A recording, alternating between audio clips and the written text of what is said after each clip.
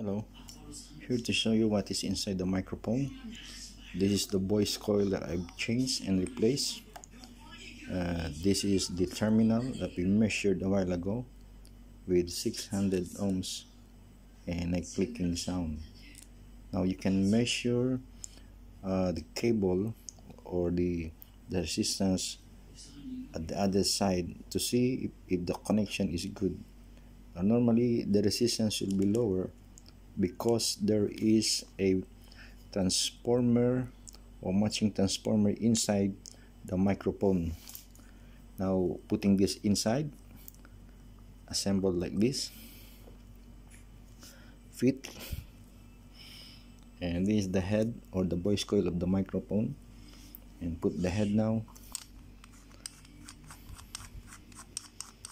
Then the microphone is ready to be tested. Tighten up a little bit. And this is the microphone that we can check later. And using the tester again to ensure there is a resistance running through. Without any resistance the microphone will, will have no sound at all. So this is now a good working microphone